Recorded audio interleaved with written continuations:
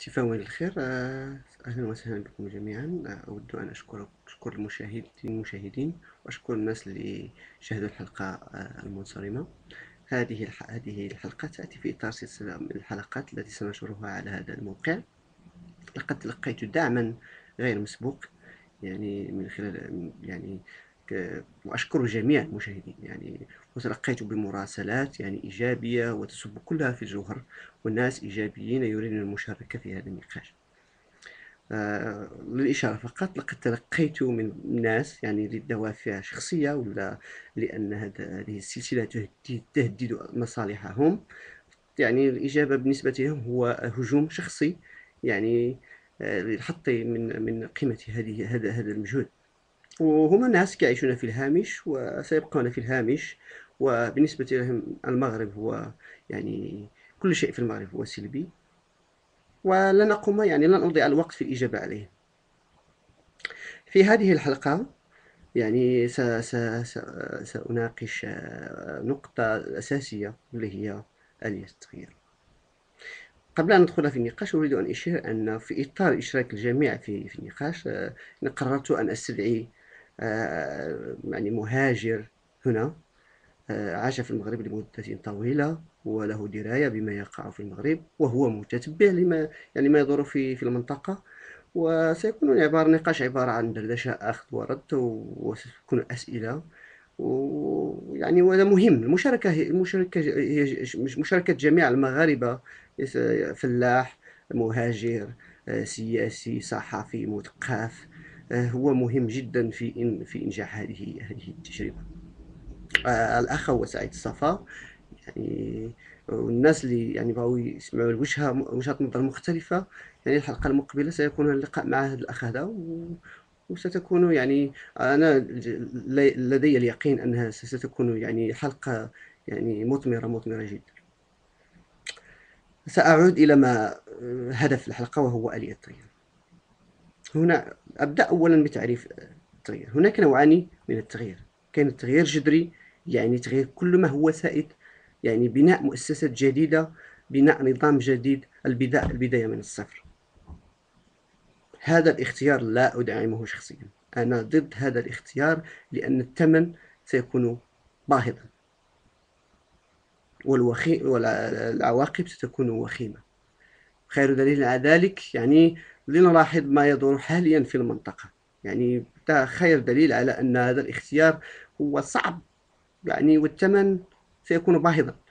وأكثر من ذلك أن الناس اللي غادي يأدوا الثمن في هذا الاختيار هذا هما الناس اللي راه كيأدوا الثمن حاليا. ما عندهم فين يمشيو هما اللي غادي يعني يتكرفسوا كما كيقولوا بالمغربية. ولهذا أنا لا أدعم هذا التغيير هذا وأن الثمن يعني هو مجهود مجهود ويعني والنهاية هي غير معروفة. الدعم يعني التغيير الذي أنا يعني من أجله وأدافع بشدة عليه هو الاصلاح التدريجي. كما يعني الاصلاح التدريجي هو أنه أن تقوم بتقييم التجربة يعني والنظر إلى ما هو سائد في المغرب. أخذ ما هو إيجابي والافتخار. أنا أفتخر بأن في المغرب أشياء كثيرة إيجابية. يعني ليس يعني كل شيء سلبي. يعني يعني الصورة السوداء التي البعض يريد أن يرسمها على المغرب. هناك مسائل إيجابية وأنا أعترف أن هناك مسائل سلبية وسنعمل جميعا من أجل تغييرها. كما يقال الكأس نصف مملوء. هناك أناس يرون يعني هم سلبيين يرون النصف الفارغ وهناك ناس إيجابيين مثلي يرون أن النصف نصف الكأس مملوء. كيف يعني كيف يجب يعني يعني التحرك في المستقبل من أجل تطبيق هذا الإصلاح التدريجي؟ أولا نقطة أساسية جدا. في هذا في هذا في هذه آه، يعني آه، النموذجية وهي الإصلاح التي ذكرتها وهي الإصلاح التدريجي هي دراسة دقيقة للمغرب. مجموعة الدراسات التي قامت في المغرب كان عندها هدف سياسي. أولا يعني للدفاع عن عن مشروعية حزب ولا الدفاع عن مشروعية شخص. يعني تقوم هناك أرقام غير يعني غير غير غير, غير عقلانة. في بعض الأحيان ليس هناك أرقام في الأصل. لنأخذ مثلا عدد سكان المغرب. إذا سألت أي شخص قل له ما هو عدد سكان في المغرب؟ سكان الناس في المغرب؟ ما هو سك... عدد سكان الناس في المغرب؟ البعض يقول 40 مليون البعض يقول 37 مليون. يعني لا يمكن أن بناء رؤية على أرقام يعني غير قياسية أرقام يعني ليست ليست واقعية. البطالة. إذا كنت تبحث عن الإجابة عن عن عن مشكلة الشغل أول حاجة يجب أن نعرفها هو ما هو عدد السكان ما هو عدد الناس اللي كيقلبوا على الخدمة في المغرب عدد الناس اللي ما خدامينش.